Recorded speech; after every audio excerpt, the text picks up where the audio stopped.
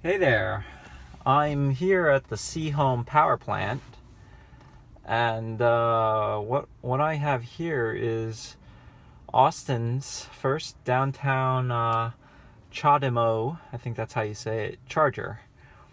Now these aren't uh, superchargers, okay, uh, but these are 50 kilowatt uh, an hour chargers, which uh, you know, or they're up to 50 uh, kilowatts. Uh, so these are about uh, eight times uh, faster than the uh, regular charging uh, stations, which can only do about um, 20 miles an hour, give or take. Yeah, you can see right here I'm doing 138 miles an hour of charge. So it's not quite as fast as a supercharger. Tesla supercharger uh, can do about 350. I've seen 380 miles an hour, like 90 to 120 kilowatts. Um, but these do pretty good. These these do about 50 kilowatts, which can fill you up uh, in about an hour, hour and a half from an, a completely empty battery. Now, in order to use this, you do need to buy a special adapter from Tesla uh, in order to use this. And I'll let's go take a look at this right now. Um, so here it is. This is the charging station from ChargePoint, and uh, you can see that uh, it is pretty much it works the same way. You simply swipe your RFID card.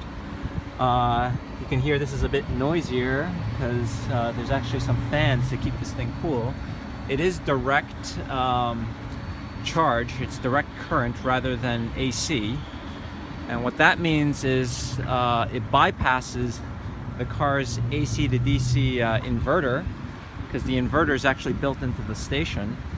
And what we have here is it, it actually is pumping direct current directly into the battery.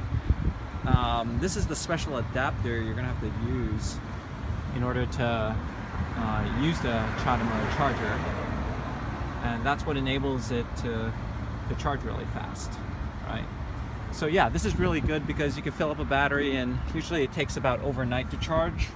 But now with this fast charging station it's not quite as fast as a supercharger but it's definitely fast for you to say you know hang out for about an hour and then uh, hour and a half and then you can uh, be on your way you got a you, you got a full full battery to get to the next uh, supercharger in less than say an hour and a half rather than having to wait seven or eight hours.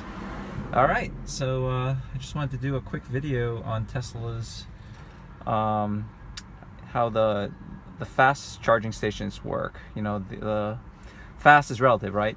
Not the supercharger but the CHAdeMO chargers. See I'm, I'm almost getting up to 100 and 142 miles an hour. I think this can put out to up to about 150.